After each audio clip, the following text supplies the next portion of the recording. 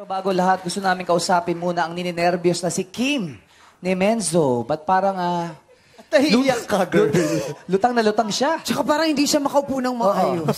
Hindi ba komportable upuan? Carry naman po, pero two weeks na ako dito, guys. Ma- Pero sinigurado namin hindi ka mahambugan kasi may pabubong Oo, maraming maraming salamat Pero po. happy ka na nandito ka. Happy po ako at the same time, um, hindi ko alam kung ano nang gusto kong i-expect sa sarili ko kasi nag yung yung utak ko po nung natalo ako, talagang binura ko na yung competition and then all of a sudden here I am again. Sitting here tapos ang sakit sa puso kasi pipili na naman ako. Mga kasamahan ko. Kaya mo yan, Kim. Kim. Ano yung nandito? Uy, ito si Kim! Hindi, si Kim nalagpasan mo mo. eh!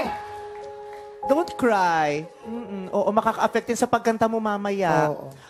My God, pareho tayo ng buhok. Kim, ito lang ha, sarili mo lang opinion. Sa tingin mo, sino ang kinakatakutan mo sa to sa mga pinili mo? Lahat po sila.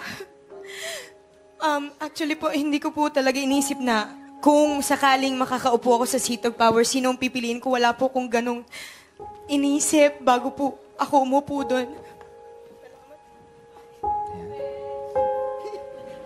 Pwede isa pa po.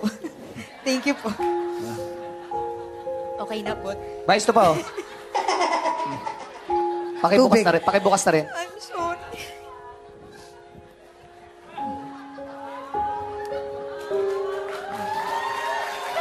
Kita mo, Kim, ang dami nagmamahal sa'yo. Mais, pakimasahe na nga siya. oh. Sisilbihan Para kita marinig. ngayon. Ayokong, ayokong may nalulungkot. I'm sad when someone is sad. Oo. I want everyone to be happy. Shinging!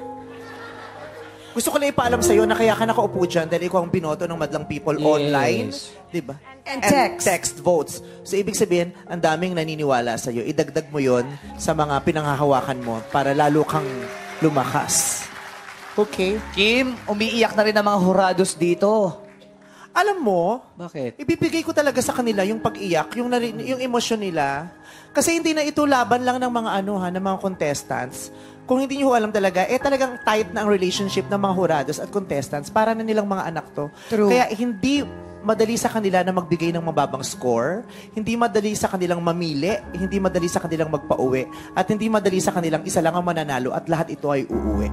Kaya may mga natatalo, kung umiiyak ang pamilya ng mga natatalo, umiiyak din ang mga hurados dahil naging pamilya na rin nila sila.